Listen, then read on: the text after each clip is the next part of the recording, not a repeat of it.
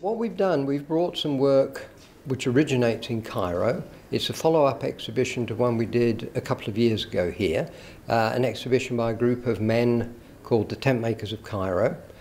Um, we will have probably 20 or 30 pieces on display and what we will be trying to do to help educate people about the art of the tent makers of Cairo is to demonstrate work of the different styles that they make, but also examples of work from the different uh, shops in the street of the tent makers in Cairo, where there are about 20 shops now.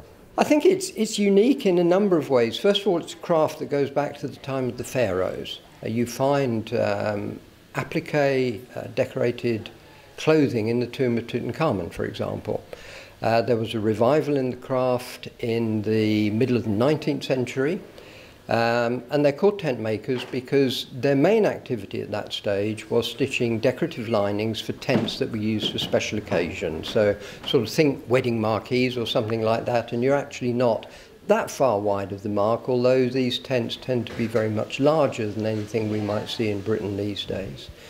Uh, the men also used to make large decorative panels, which were used to create outdoor rooms where special events could be held. You might accept condolences, there might be a wedding or something like that.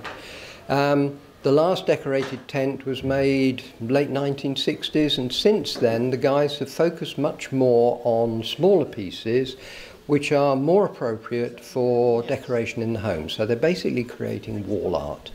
We're looking at something that was a utilitarian craft. It was creating things that were for household use.